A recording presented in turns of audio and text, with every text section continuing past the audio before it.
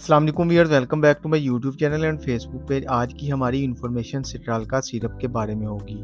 ये सिरप किस लिए इस्तेमाल होता है? इसके फ़ायदे क्या हैं? साइड इफ़ेक्ट्स क्या हैं? और इस सिरप को कैसे इस्तेमाल करना है?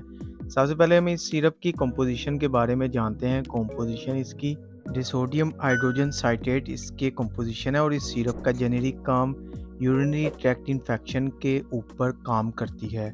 यानी पेशाब मुखालफ मतदी पर काम करता है, बात करते हैं इस सिरप के बेनिफिट्स के बारे में। यूरिनरी ट्रैक्ट में इन्फेक्शन यानी पेशाब की नाली में इन्फेक्शन हो जाए बैक्टीरिया की वजह से और पेशाब करने में तकलीफ़ और जलन महसूस हो और पेशाब रुक रुक कर आए, उसके लिए सिट्राल का सिरप का इस्तेमाल बहुत मुफीद है।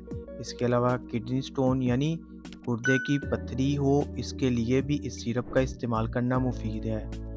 इसके इस्तेमाल से गुर्दे में पथरी नहीं होगी और ना ही गुर्दे में दर्द महसूस होगा। इसके अलावा गोड डिसीज़ बीमारी होती है। इस बीमारी में यूरिक एसिड लेवल बढ़ जाता है और यूरिक एसिड को मेंटेन रखने के लिए इस सिरप का इस्तेमाल मुफीद है। इस बीमारी में क्या होता है?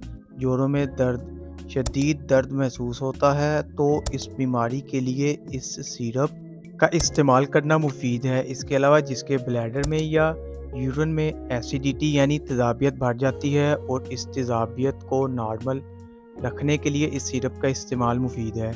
ये थे इस सिरप के फ़ायदे। अब बात करते हैं कैसे इस सिरप को इस्तेमाल करना है।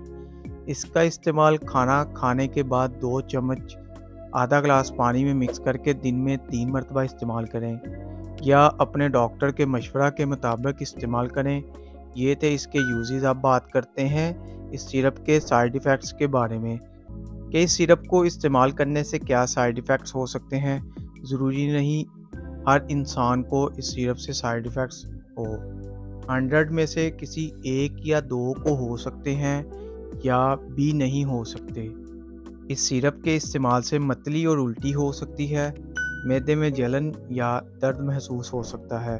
चक्कर आ सकते हैं, बेचैनी महसूस हो सकती है, थकावट महसूस हो सकती है, पेशाब का ज़्यादा आना हो सकता है। ये थे इस सिरप के साइड इफ़ेक्ट्स। अब बात करते हैं कौन लोग इसका इस्तेमाल नहीं कर सकते। दिल के मरीज़ ये सिरप इस्तेमाल ना करें। हाई ब्लड प्रेशर वाले मरीज़ इस्तेमाल नहीं कर सकते और वो लोग जो इसके फार्मूला से एलर्जी रखते हों, वो इस्तेमाल नहीं कर सकते। उम्मीद है आज की वीडियो अच्छी लगी होगी तो वीडियो को लाइक और शेयर ज़रूर करें। चैनल को अभी तक सब्सक्राइब नहीं किया तो चैनल को सब्सक्राइब करना ना भूलें, ताकि नेक्स्ट वीडियो की नोटिफिकेशन आप तक आसानी पहुँच सके। शुक्रिया, अल्लाह हाफिज़।